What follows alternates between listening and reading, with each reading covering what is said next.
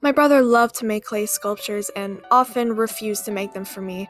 When I was eight, I pleaded with him to make me a sloth. He did it, and it's probably one of the oldest things I still hold on to. I wouldn't let it go. I would take this sloth everywhere with me. I named him Slothy. Original, right? I promised to keep him with me at all times, and my brother found pride in that. I had just been dropped off for school by my brother, Atlas. He was on his way to work, so I got to school a little early so he could get there on time. He worked at a small local grocery store a few minutes from the high school, and I often walked there from our house to get groceries for our sick mother and busy father. My dad owns a company, or at least he's trying to. He doesn't pay attention to my sick mom. He really just pays the hospital bills because it would look bad if he didn't. I walked into school like it was any other day, and I waited for Emily, my best friend. We always walked the first period together. She went to Spanish, and I went to algebra. It was our third period, history, where we normally watched the news. Today was all about Paradox, the vigilante of the city. He helped out the police a lot, even though the police were investigating him. They say he hadn't been spotted in days. Anyways, my teacher asked me to step out of the room for a second. This doesn't usually happen. When I walked outside, I saw both my parents. My father was looking at his phone, and my mother was crying. Mom? What's going on? It's it's your brother. Those words sent my world flying. They said he died in a car accident on his way to work, but they never recovered a body because the car was driven right off the bridge that connects our city to the larger surrounding cities.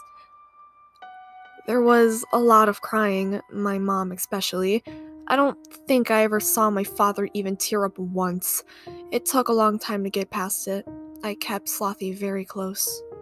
Emily and I grew distant as we went off to local college. I met a boy, Jacob, who cheated on me with another girl. That relationship didn't last long. Sophomore year of college came around, and my roommate, Lena, and I grew close. I walked in one day, about one fourth of the way through the school year, and she said, You have a package down at the lobby. They called and said it had been there for a while, and they're tired of holding on to it. That's odd. I've never gotten any packages since my mother passed.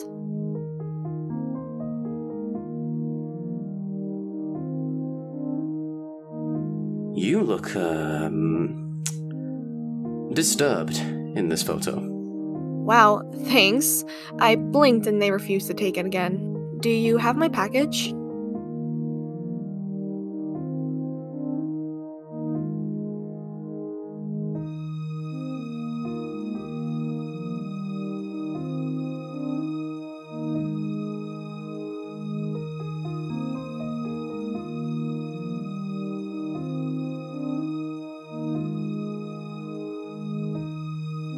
Thanks. I never opened the package. It's been weeks. Hey! My parents can barely afford for me to go to college, let alone another phone. Dang it!